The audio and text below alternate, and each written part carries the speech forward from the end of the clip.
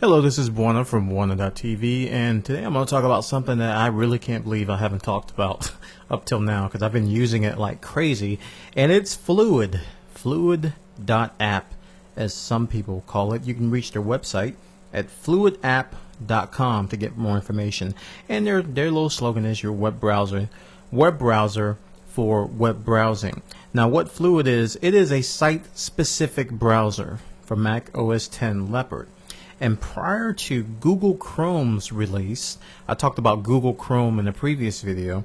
Google Chrome gives you the ability to create a specific application icon for a website. That's exactly what Fluid.app does, except it's been out a little bit longer than Google Chrome. And I have been using this on Mac, excuse me, I've had been using this on Mac OS 10 for some time now, and uh, finally get to share it with you.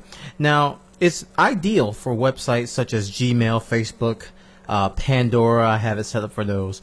Um, also for social networks such as Twitter, Identica, Rejaw, and uh, I have some applications set up in my dock down here. I have one for the FriendFeed beta site and for Rejaw, for Google Reader, and for my Google Mail account. Now, when you launch Fluid.app, let me go ahead and launch it. It's a very simple interface. I think I launched the wrong one. Eh. Okay. Fluid. There we go. It's a very specific interface and uh, has a new version, so I'm just going to remind me later. It asks you for a, uh, a URL and a name and also where you want to place this application because it's going to create a .app file or folder in your on your system and uh, what icon you want to use for it. So let me think of something to use. Um, I guess I can set one up for Twitter. Even though I don't use Twitter, I'll just go ahead and do it. That's my URL, Twitter. And I'll say name is Twitter. And I'll just use the defaults for location and icon. I'll talk a little bit more about the icon a little bit later, how you can change it. And uh, I'm going to go ahead and click create. So what it's going to do is it's going to go to the site, get some information, then it's going to go ahead and build that .app file, and then in a couple seconds it's going to let me know that it's finished doing what it needs to do.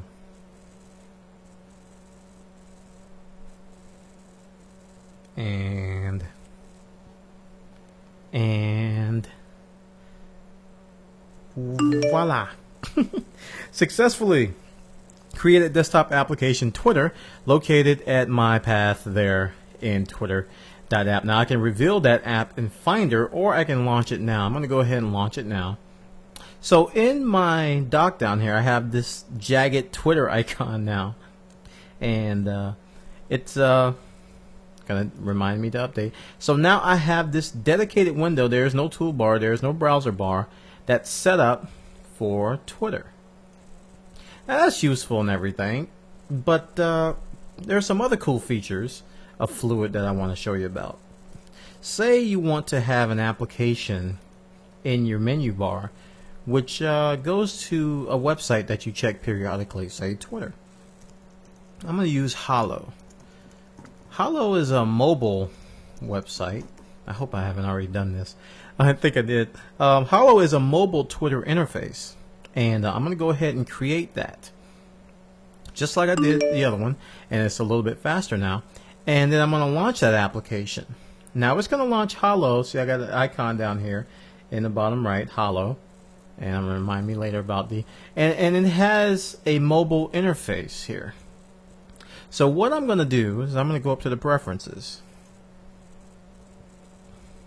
And uh, I'm going to first actually they have it in the menu now. You can go to the Hahlo menu and you can say convert to a menu extra SSB and what that's going to do is that it's going to convert this application to a menu icon on my menu here so I can access that website from right there. It says menu extra SSBs appear as small items in the system-wide status taskbar at the top of the screen next to the clock and spotlight. So I'm going to go ahead and click OK and I'm going to say remind me later. And if you notice up here, I have a H up here for Hahlo. So now, I'm going to go ahead and log in here. hope I can remember my password. It's been forever. I can log into my Twitter timeline, and you see it, it kind of fits the whole mobile interface. It has a small window that I can just come up here and check periodically and see who's doing what within Hahlo. Isn't that cool?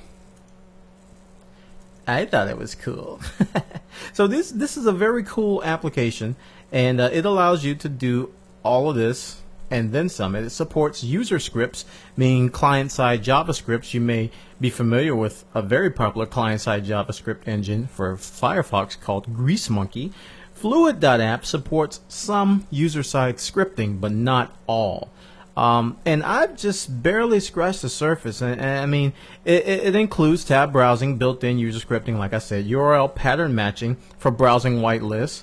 Uh, it supports Sparkle, so the automatic update framework, and custom SSB icons in the JavaScript API. So let's talk about this icon here. I have this Twitter app that I created. You notice that icon is real ugly, and it doesn't look anything like these pretty icons I have for French FriendFeed and Rejaw.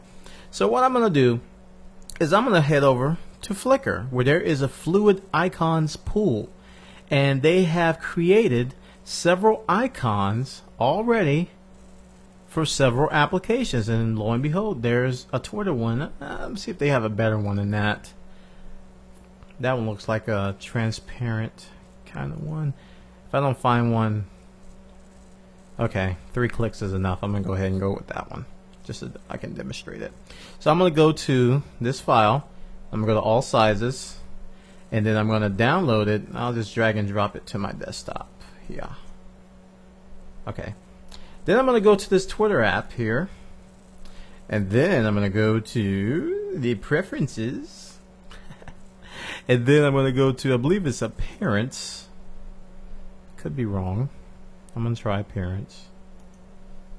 And nope, it's not appearance. Let's try general.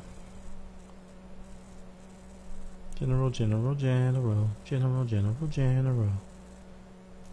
I didn't click it. Gosh, gosh. Okay, application icon. You click change here, and it tells you that a relaunch may be necessary. So I'm going to go to my, uh, let's see, desktop. That's the file there. And then I'm going to save it. And lo and behold, I didn't need to relaunch it. I now have this coolish looking black Twitter icon. So this is how you can customize Fluid.app a little bit more. And like I said, I mean, there's a lot more to it. Very useful stuff you can do. Keyboard shortcuts is another thing that's real cool with Fluid. You can set up your own custom keyboard shortcuts, do a lot of scripting, and more. So I highly recommend you go check it out. Here, someone set up a mobile Digg.